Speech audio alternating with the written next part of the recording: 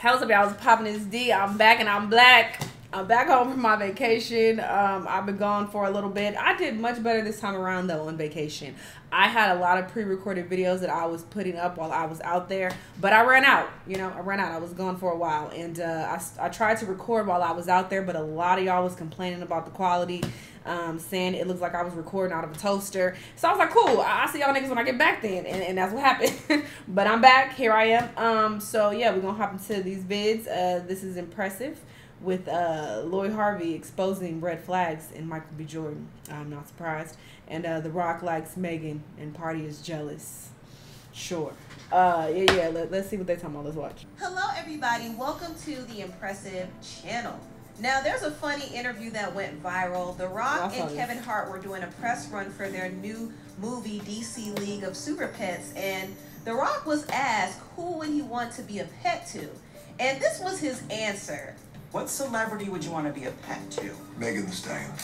Oh, he was quick with it. Why Megan Thee Stallion? Well, we don't have to talk about that. okay? Okay, Andrew, just leave it out there. Why are you laughing? Cat? Why the f are you laughing that? I thought this was pretty hilarious because when I saw this, all I could think about was Megan's lyric from Cash Ish. She was saying, "Yeah, he my dog. You gonna sit down and listen." So mm-hmm. The Rock said he want to sit down and listen. He want to be her dog, her pet, whatever she want. I think this was a playful interview, and he has a thing for Megan Thee Stallion, I think. However, Megan Thee Stallion's boyfriend, Pardison Fontaine, was not here for this at all. In fact, It's On Sight took a screenshot of his reaction, and he said this, all our dogs is named after numbers. Just teach your wife to use seasoning. You'll be alright. Moana is the ish, though. Now, when he made this comment, That's a lot funny. of us were confused. Like, why is he bringing up The Rock's wife? And why is he acting bothered? I mean, The Rock didn't say anything too out of pocket. It was just a playful comment. Right. And I don't think he was literally trying to shoot his shot at Megan. I mean, he is a married man. So I think this whole thing was just jokes. However, Pardison got in his Boy. feelings a little bit. And he Boy. definitely was showing that he's insecure he did come back and try to clean it up no, by saying, sorry, of all the things to be worried about, y'all think I'm mad at The Rock. The comment started all our dogs' numbers and ended with Moana is my ish. I deleted it yesterday because it seemed like people took it wrong. Thought maybe my joke was in poor taste the thing is, I don't think Pardison was even joking. I think he actually yeah, was kind of pressed about the Rock's comment because why joke. would he even say something like exactly. that? That was weird on his part, and it kind of shows that he's threatened and insecure. But anyway, since we're on and the topic of Megan, I do want to talk about her upcoming album, Traumazine. She has been starting her rollout for her album. I'm gonna react to it on my Patreon. Can't wait to hear it. Rollouts. Megan went on social media and revealed that her label is trying to sabotage her album release. Now, if you're not aware of the situation, hmm. Megan has been going through a legal battle with her label 1501 Certified Entertainment, and she wants off of the label.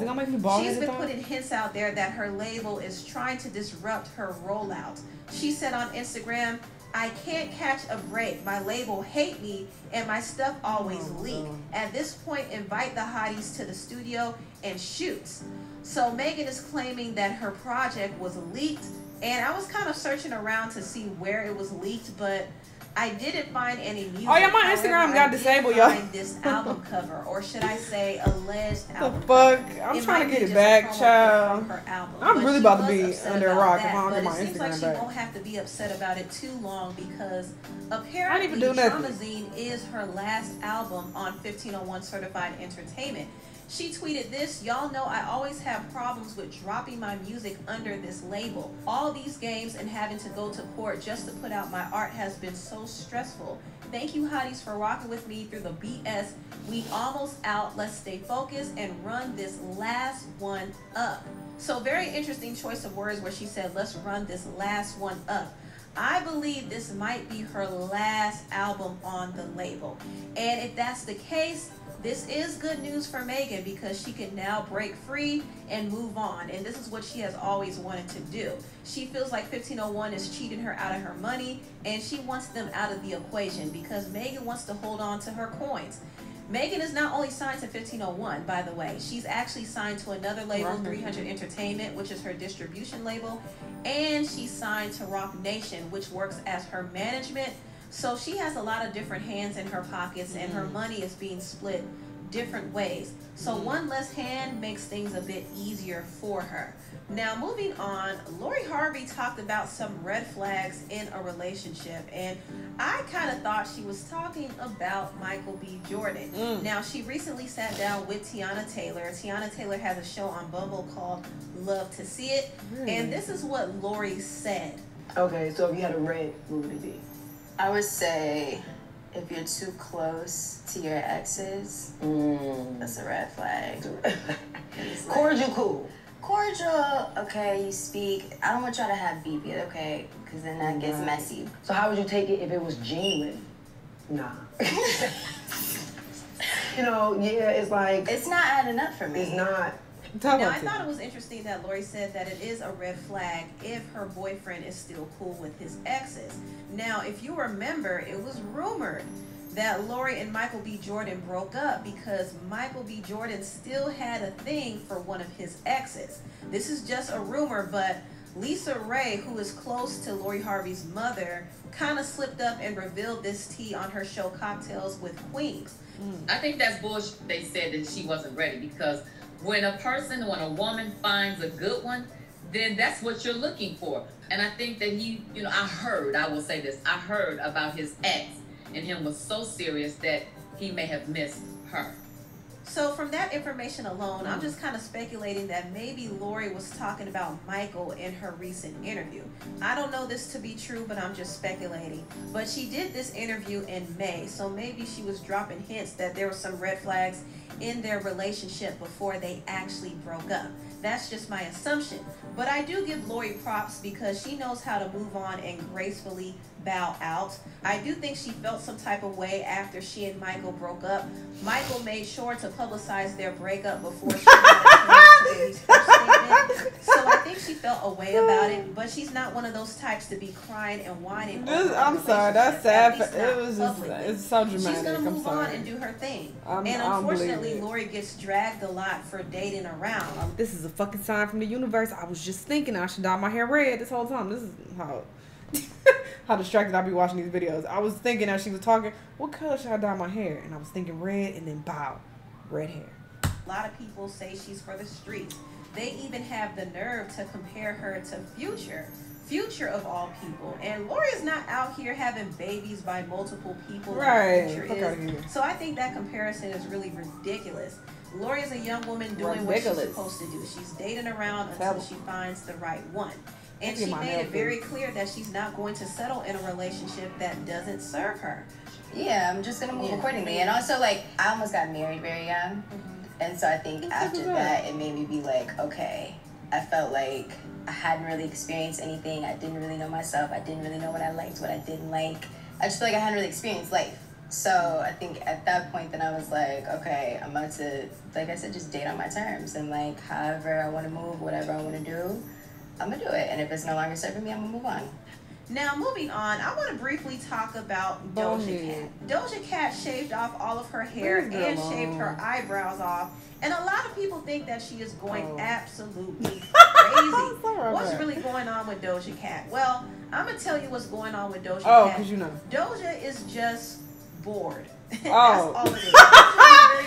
Impressive girl. I can't keep letting it slide. I'ma tell you what's going on because that's my bitch, and we were just talking last night. That's what it's giving every time Impressive. every time Impressive talk about these people, like girl, girl, girl, you don't know these niggas. You don't know these niggas. I mean, I don't know who you know, but I know you don't know all these niggas you be talking about. Ain't no way. So it's just it, it cracks me up. But yeah, I think people need to leave Doja alone. Okay, she wants to shave her hair. That's the fuck she wants to do. She tired of them wigs. She tired of it pushing her hairline back. All right, it was fucking her edges up. She tired of it. She just want to be bald head. Nothing wrong with that. Shaving the eyebrows. You know, she's a little, she's a little odd. So that's what she chose to do. I don't think this is a cry for help or meaning that she going crazy. Like people so dramatic. tour with the Weeknd right now. Oh, So she has a lot of free time on her hands these days, and she spent. Wait, she touring right now? Doja is very bored. Doja is sitting at home when she's supposed to be on tour with the Weeknd right now. So she has a lot of free time on her hands these days, and she's spending her Girl, time on social not media sitting at doing home. the How you know she's sitting at things home? that she would typically do. Hmm. And people are concerned because they're just not used to seeing that from an artist I know she was of her stature. Doja is a pop star, but she doesn't act like it.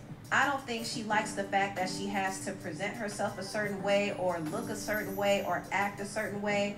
So she's kind of rebelling against that. Mm, I and I think that. that's partly why she shaved her hair off. And she also explained that her hair was almost a burden for her. She couldn't do some of the things she wanted to do without worrying about her hairstyle. So she just shaved it off. That's what she did. crying. Now, when she Oh, shaved off her hair and her brows, a lot of people were concerned, of course.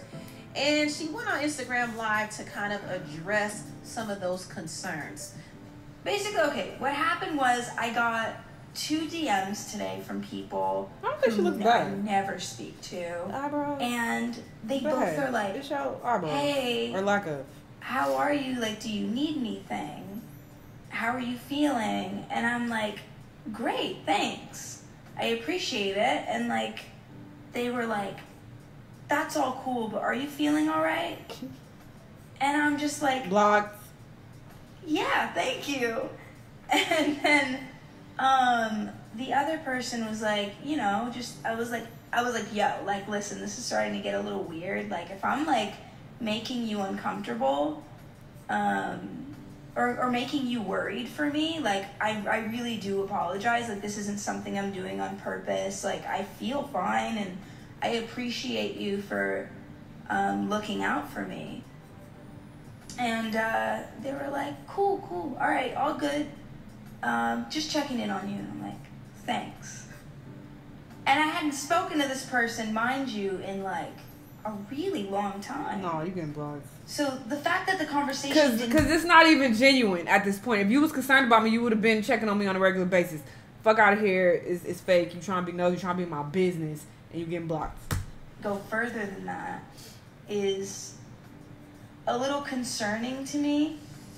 Um, and, and it's just that on top of like everybody being like, you're on drugs and Damn, you're that's a crazy and what has she Uh-uh, done to herself and you need help you need like don't be afraid to like you need to seek help it's kind of funny because I, I always was the person to be like posting dumb shit on the internet. So it's just You funny to me that okay. people are in any way like shocked. The second that I get to feeling like I'm free and I feel cool, motherfuckers are like, you're not good. you're not okay. So that's what Doja had to say. According to her, she's feeling just fine, and I think people were overreacting for no reason. Doja Cat is just being her quirky self, and she's gonna do some random things. And also, she's bored, so I'm not surprised at anything she does nowadays. anyway, tell me what y'all think about this. I've been thinking I, I'm hearing noises in here. Um, yeah, leave this woman alone. The fuck, niggas can't shave their hair nowadays. It's her goddamn head. It's her goddamn eyebrows. If she want to shave, them, that's her business. I don't understand how that correlates to her being on drugs. Like, what the fuck are we talking about? People are weird. Uh, what else they talking about? Uh, Lori Harvey. That is old news though. They not together no more. Who cares? Who cares? Was close to his ex. You broke up with the nigga. You moved on. Whatever. Uh, Pardi is is is a lame though. He's real corny for that comment. I don't believe for one second that he was just joking. It didn't give joke. It wasn't even a funny response. Like it was just weird and unnecessary. I don't feel like you needed to even address that. Like that was just lame. He was clearly joking. I don't think he wants Megan at all, honestly. Um, I mean, I don't know what this man's into. But just if I'm going based on what his wife looks like and, and other women that I've heard of him date, they don't look nothing like Megan, is all I'm saying. So it, for you to just get that pressed over is, is weird, but sure, whatever. I will be reacting to Megan's album when it drops, though, on my Patreon. Can't wait to hear it. Uh, I'm not too, you know, excited about it, to be honest, because her, her recent music has not been hidden for me, but I'm still to give it an honest chance. I'm gonna listen to it. I still have to react to Beyonce's album. That's coming like in the next day or two. Put that on my Patreon too. I'm, I'm real excited to listen to that. I've heard a couple songs. but haven't heard the whole thing. Definitely about to hear that. Uh, but yeah, sure. These niggas is just uh, living their life, but but we in their business as usual, and we're about what they doing. Sure. Let me know what y'all thought though. Let me know what other videos you want me to watch, and I'll see you on the next one.